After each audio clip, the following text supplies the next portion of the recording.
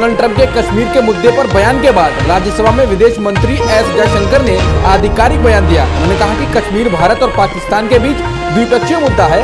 इस मुद्दे पर प्रधानमंत्री नरेंद्र मोदी की तरफ़ से किसी तरह की मध्यस्थता की पेशकश नहीं की गई। उन्होंने अमेरिकी राष्ट्रपति के दावे को गलत बताया। बता दें, ट्रंप ने कल इमरान खान से मुलाकात में कहा था कि भारत के प्रधानमंत्री ने अमेरिका से कश्मीर के मुद्दे में मध्यस्थता करने को कहा था। राज्यसभा की कार्रवाई दो बजे तक रही स्थगित। सदन में अमेरिकी राष्ट्रपति के कश्मीर को लेकर दिए गए बयान पर विपक्षी सांसदों ने स्वयं प्रधानमंत्री मोदी से सदन में सफ़ाई देने की मांग की है। वो सदन में प्रधानमंत्री जवाब दो के नारे लगा रहे हैं। कश्मीर के मुद्दे पर राष्ट्रपति डोनाल्ड ट्रंप के बयान के बाद अमेरिका के अमेरिकी विदेश मंत्रालय की तरफ़ से बयान आया है और अब व्हाइट हाउस की ओर से कहा गया है कि कश्मीर मसला भारत और पाकिस्तान के बीच द्विपक्षीय मसला है, इसलिए मसला दोनों देश बातचीत के ज़रिए सुलझा सकते हैं। व्हाइट हाउस ने कहा कि पाकिस्तान के साथ भारत की सार्थक बातचीत के लिए ज़रूरी है कि आतंक के खिलाफ पाक सख्त और प्रभावी कदम उठाए। सुप्रीम कोर्ट ने रियल एस्टेट कंपनी आम्रपाली का रेरा रजिस्ट्रेशन कैंसिल कर दिया है।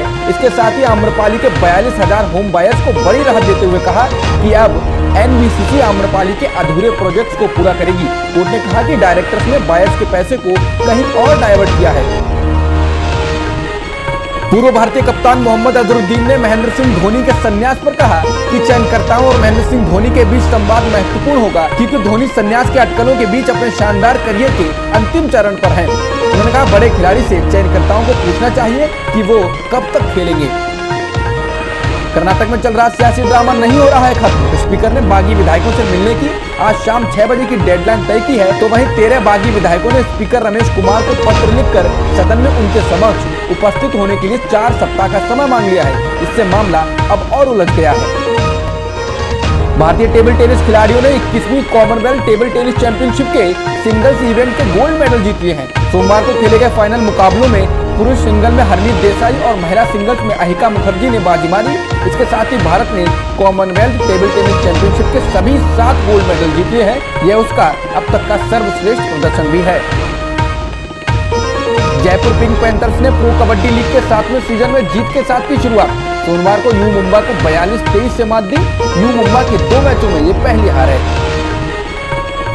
फ़िल्म बंटी और बबली के सीक्वल में नज़र आ सकती हैं। 2017 के मिस वर्ल्ड मानुषी चिल्लर। वहीं बंटी के किरदार के लिए अभिषेक बच्चन की जगह सिद्धार्थ चतुर्वेदी ले सकते हैं। सिद्धार्थ ने फ़िल्म गली बॉय में रणवीर सिंह के दोस्त का किरदार निभाया था। हालाँकि 2005 में रानी मुखर्जी और अभिषेक बच्चन स्टारर फ़िल्म बंटी बबली के सीक्वल के लिए किसी चेहरे को अब तक फाइनल नहीं किया गया है। सोमवार की गिरावट के बाद आज बढ़त के साथ खुला शेयर बाज़ार। सेंसेक्स सौ अंकों से ज़्यादा की उछाल के साथ अड़तीस हज़ार एक सौ अड़तीस दशमलव पाँच छह पर तो निफ्टी लगभग छब्बीस अंकों की तेज़ी के साथ ग्यारह हज़ार तीन सौ बहत्तर दशमलव दो पाँच के स्तर पर खुला। अब तक की खबरों में बस इतना ही। बाकी की खबरों के लिए बने रहिए सत्य हिंदी डॉट कॉम के साथ।